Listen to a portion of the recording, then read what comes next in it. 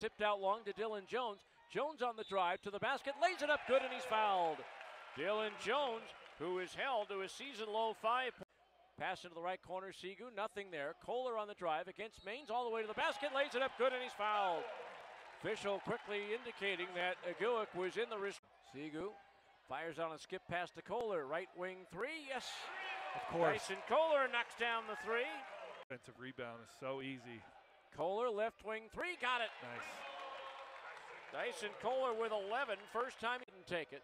Porter lobs inside for two. Behind the defense, slams it down with two hands. His fifth dunk of the year. Alex Chicks back to an 11. Carlson, left angle three again. Swish. Cody Carlson with his first field pass for the Wildcats. Back comes Dillon Jones up the left side. Into the lane, to the paint, lays it up good, and he's fouled. Strong move to the basket by Dillon Jones, who has a chance now for If ever team, they got to find the range soon because, as McEwen does with a three-pointer right there, uh, you can't let a Northern Arizona team. the right corner against Jones. Picks up the bounce, throws it inside for start, knocked away by Koehler. Dyson with a steal, up the right side for McEwen behind the defense, throws it down with the right hand. Koby McEwen with the exclamation point. The Wild- 15 from downtown.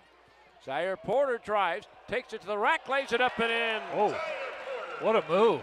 that was incredible. They win their Big Sky Conference opener. The final score, the Weber State Wildcats 67 and the Northern Arizona Lumberjacks 44.